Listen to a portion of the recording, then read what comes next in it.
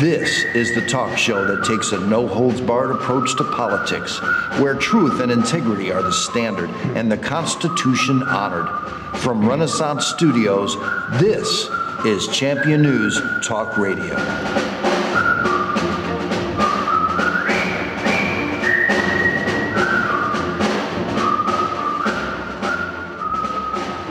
Good morning and welcome to another great edition of Champion News Talk Radio, brought to you by championnews.net, your choice for the conservative voice.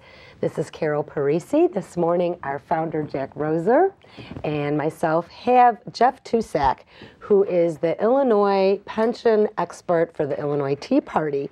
Welcome, Jeff. And um, how are you, Jack, this morning? Oh, I'm I'm fine, and uh, but uh, everybody's seen me already, but uh, they haven't seen enough of Jeff, and uh, I'm really impressed with uh, your background uh, in the past, working with General Motors and uh, being around all of those negotiations with, with the unions and the pensions and all of that.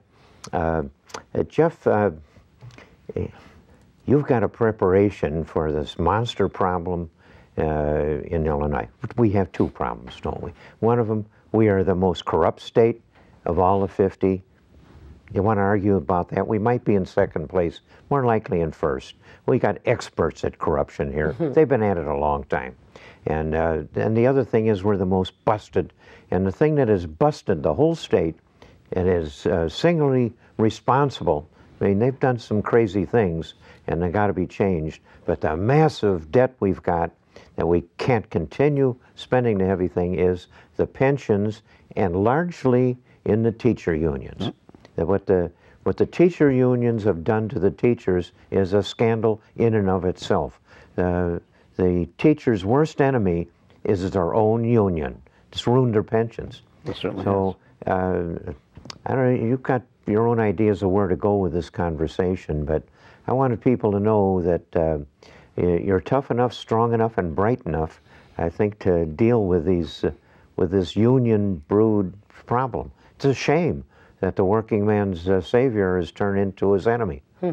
Well, Jeff, you've been a guest on our show before. Sure. I'd like to welcome you back you. today.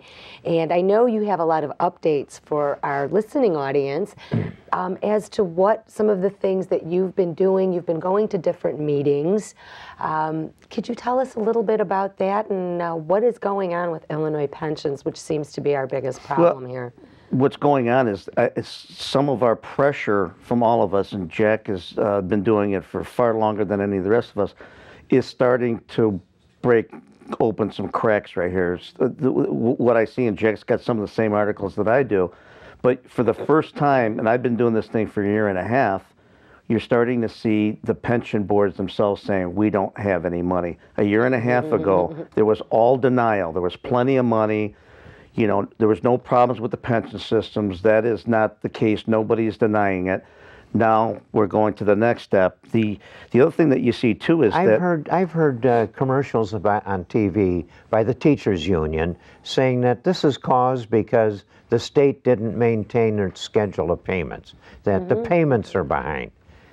Bill Zettler has done a perception. This is a lot That's of the right. public perception. And I spend a lot of my folks. time there. That's a bloody lie. It is a bloody lie, and, and and Bill Zettler does a really good job of laying that out. I just reviewed his work too. What the public is led to believe is the state missed its payments. State never missed its payments. If you look at the charts, and I use this all the time, what what the state is not paying is the delta between their exorbitant compensation and what's usual, customary, and reasonable, right? The state is stuck on that glide path forever because they have to do it. What they have not been doing is paying this delta. And Zettler has pointed that what out. What is the delta? The delta is the difference between one line to another. So I used the term hockey sticks. The last time I was on I was talking about how it's a common term they use in the uh, in, in, the in the private sector. Hockey stick is a chart that goes like that, mm-hmm. and the hockey star for pension debt looks like this because these are the promises. A lot of them we haven't paid out yet, but they're promises nonetheless. And then you have what the trend line is of what what the uh, what the, what the uh, state does pay. What what the union wants everybody to believe is that the state missed payments. No, the state just hasn't paid that delta. And that's where the- Never promised to, never was obligated to. It is just that the crazy fools at the lower di- end of districts, these uh, superintendents Right. that are getting pensions of $200,000 a year and more, those twits uh, working with the union in the negotiations have given away the taxpayers' store. Right. They have agreed to a mountainous increase in pensions every year, going up uh, one huge ton of money, and it just outrun any possibility of anybody Right, and, paying that- for it. and that's the acknowledgement right now. And I was looking over your shoulder at your articles. You see it all the time, and you, they're almost using your words, Jack. They're saying this debt cannot be paid. There is no scenario that would allow this to happen. Jeff, I want to back you up for a Sure. second because our listening audience, Yes. uh, you were describing something visual. Yes. And is there someplace our listening audience can see these charts and graphs where it could be more visually? Right. If you go on the Illinois Tea Party website under pension reform, you'll see exactly that chart. It's called salary spiking, and you'll see you, you'll see the difference in the delta. You'll see one line going this way and the usual customer reasonable, and you'll see two crimes in there. The first crime is the fact that they promised this exorbitant compensation. The other crime is the number of retirees has gone up dramatically. Now, how can this happen in a state that's lost 364,000 jobs in the last 15 years? You know how much tax dollars that is? By estimates, it's about $40 billion worth of taxes we lost. So, in the private sector where I came from, this would not happen. After the first or second downgrade, everybody would have been forced into uh, bankruptcy procedures. They would have been forced to disclose all the debt. And then in the bankruptcy itself, there would have been a come to Jesus, so to speak. They would have said, listen, There's a there is no- renegotiation Yeah, there's a process. Jeff, restructuring. you're a cruel and inhuman person trying to be a realist. Uh, don't you know this is all for the children? Uh, yeah. Well, it is all for the children. The children What's aren't going to get anything right now. Uh, th- th- this was uh, These are educators. They're- You can't you can't pay them enough. right.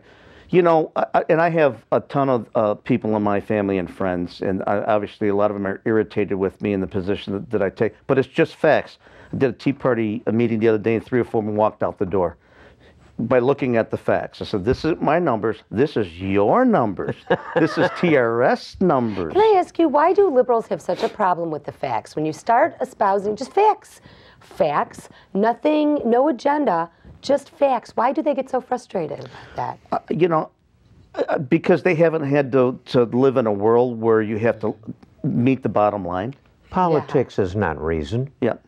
You've got uh, these people. Uh, listen, uh, the the, uh, the union has got Madigan uh, by the short hairs, and he likes it. He loves it. Well, does he have them by the short hairs? no, no, he doesn't have. Oh no, no, they've got him, and his.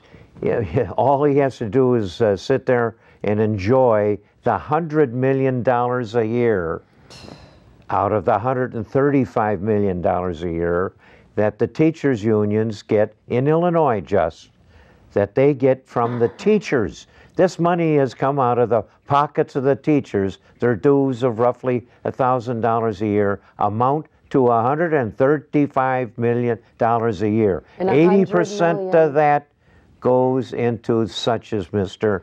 High Spending Madigan. The teachers have been work, let. for political work. to work Absolutely. against free market That's right. causes. so teachers have been misled Madigan's here, been for sure. bought and paid for for the last 40 years. You know, it, it, and again, I sound like a broken record because this is mentioned almost every single day, but this is the, a, a problem that has to be mentioned every single day, and I never miss an opportunity to tell family and friends and colleagues, whatever, what the deal is, because that's my obligation as a citizen. All of our obligation is. We mm-hmm. own this place here, right? Mm-hmm. And the, the, the, they have been misled by the unions, but here's what I say to them. It goes, you misled yourself. Did, did you think that you can get 7% raises a year in an economy that loses that many private sector jobs? Where do you think the money comes from? I think everybody was hoping it wouldn't happen on their watch. It's here. They keep kicking the So, can you know, people should remember the rule of 72. Uh, divide the, the percentage increase into 72, and you'll get the number of years it will take to double it. Mm-hmm. So at 7%, you're going to double the salaries every 10 years. is. And in the succeeding 10 years, you'll double them again. And that's what's gone on. And the what the- salaries have quadrupled. They have. And, and what's painful for them is what we and, you know, I love Zettler and, and those of us that are looking at the data, we're saying, let's look at a private sector person and what they get. Oh, gosh. The very same people that are expected to pay your compensation rate, let's look what they get. Well, you know what, Jeff? I know that you've been to several meetings and you've even talked to some unions, and the unions have made some threats and things if pension reform does go through. And I'm looking forward to hearing t- some of those things Sure. because you've got some great information. And um, Jack, I know that the family taxpayer and championnews.net is where our listeners can get a lot of Oh, additional information from Bill Zettler at championnews.net. So, Jeff, when we come back after the break, I want to hear what those unions are, are threatening and what they're going to hmm. do.